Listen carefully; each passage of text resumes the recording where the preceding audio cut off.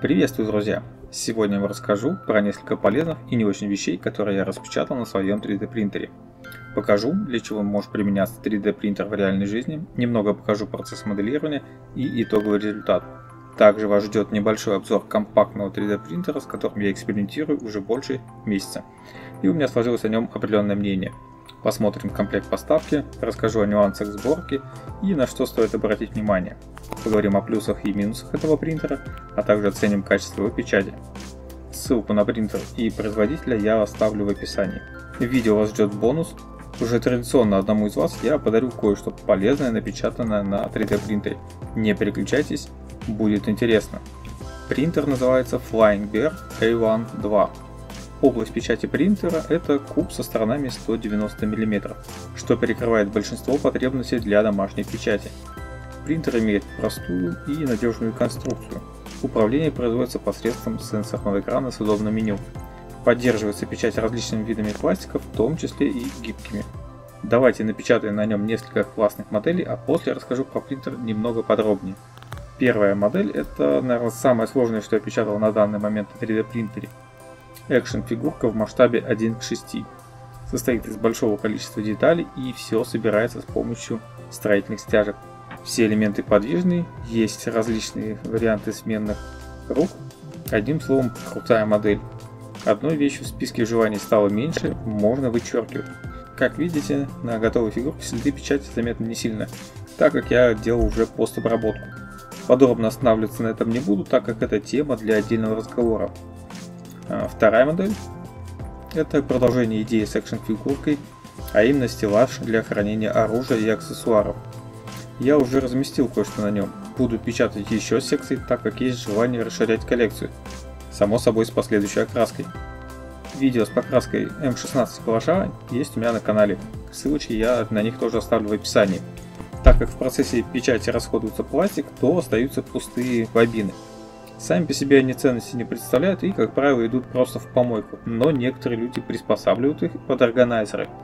Готовой модели, которая меня бы устроила, я не нашел, поэтому я решил смоделировать простенькую поставку подкраски самостоятельно. Каких-то специфичных навыков для этого иметь не нужно, мне хватило просмотра обучающего ролика на YouTube. Главное правильно снять мерки и потратить немножко времени. Э, для удобства печати я условно разделил на три секции по 4 банки – После пробной печати я внес небольшие правки и напечатал 6 секций для двух катушек. Расход пластика на одну секцию всего 10 грамм. И вот что у меня вышло. По мне так это здорово. Получился вместительный и удобный органайзер подкраски. Для тех, кто хочет сделать такой же, я оставлю в описании ссылку на 3D модель для самостоятельной печати. Также мной были смоделированы и напечатаны ножки полок и проведена небольшая перестановка на столе переставил более удобно свои органайзеры от WinModels, а также поставил пару полок в левой части стола, увеличив полезную площадь для размещения вещей.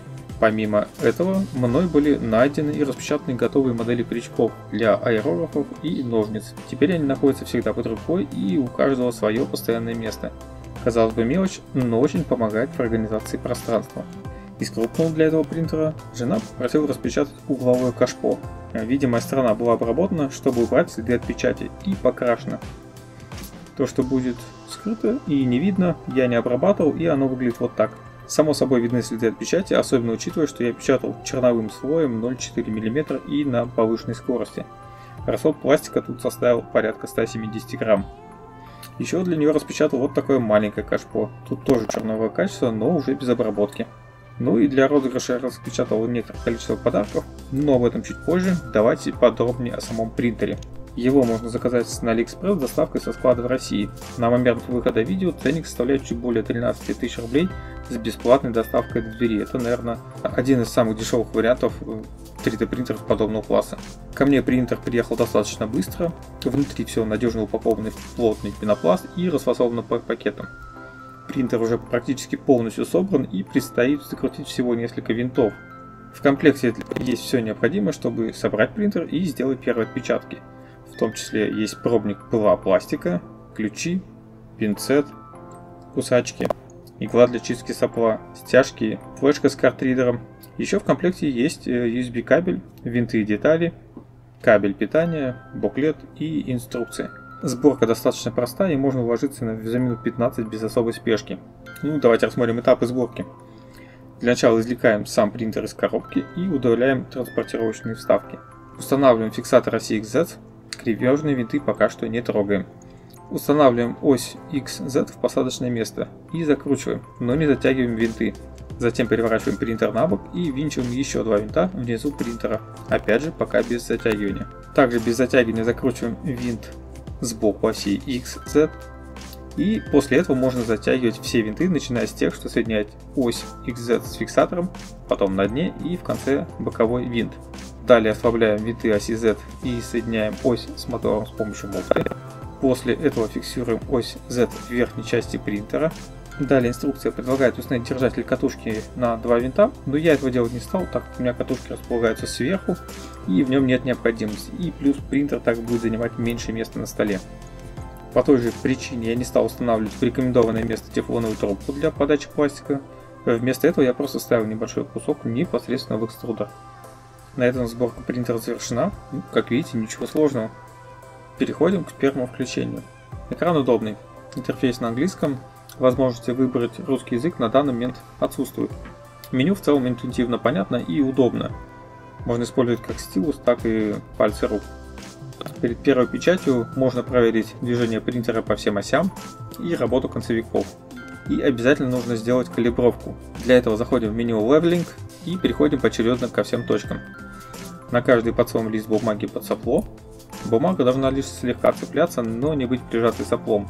Регулировка осуществляется гайками под столом и рекомендуется пройтись по всем точкам 2-3 раза. А далее нужно заправить пластик. Для этого в настройках меню включаем подогрев сопла до 190 градусов и дожидаемся пока температура достигнет нужной. Удобно, что на принтере это можно сделать в два клика. Комплектными кусачками отрезаем конец пластика под углом 45 градусов и вставляем его в экструдер. Немного оттягивая фиксатор, протягиваем пластик до самого сопла, пока не начнет его выдавливать. Вставляем флешку с тестовым файлом, выбираем его и запускаем печать. Необходимо какое-то время, чтобы нагрелся печатный стол и сопло. После этого печать стартует автоматически. Во время печати есть возможность отследовать параметры печати, при необходимости менять их на ходу, что бывает весьма удобно. Э, в результате получился вот такой куб. Я напечатал его в двух экземплярах, э, черным и белым пластиком. Во всех случаях результат меня приятно удивил. Собрав из коробки, получилось хорошее качество печати сразу и без дополнительных манипуляций. Точность печати куба составила несколько сотых миллиметров, что тоже впечатляет. Этим же пластиком я напечатал тестовый кораблик Бенчи. Специально показываю крупным планом, чтобы можно было разглядеть укладку слоев. Для подготовки к печати модели вам будет необходимо выбрать и установить один из слайсеров. Я использую бесплатный вариант слайсера Kuro. Он не единственный, так что можете выбрать тот, который вам удобнее. После месяца эксплуатации и истраченным более 1 кг пластика можно подвести итоги. Плюсы принтера – его легко и быстро собрать, он не занимает много места на столе и при этом выдает хорошее качество печати за свои деньги.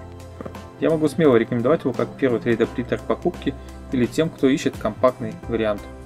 Он позволит погрузиться в мир 3D печати без особых усилий и навыков, о минусах особо сказать-то и нечего. Есть небольшие косяки прошивки, например, не применяются измененные настройки для быстрого подогрева стола и сопла.